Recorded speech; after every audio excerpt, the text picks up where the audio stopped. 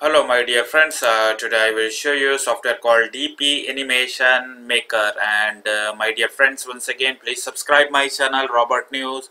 Without support, your support I cannot upload new software or new videos.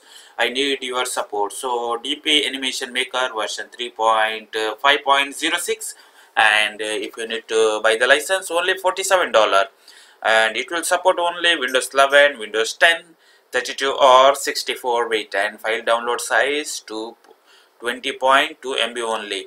So the, after installation finish you can see I open the software called DP animation maker and you can uh, choose change the background. Uh, there is one default is there. If you want change the background or choose effect like uh, uh, now I am opening the software open the photos pictures I'm selecting one photo.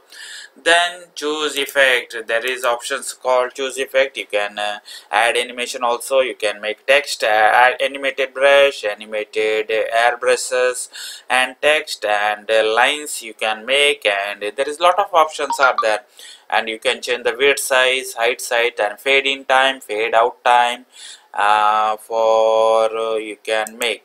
So there is export animation to mp4 format also there export animation to avi format mov format wmv png gif format also available.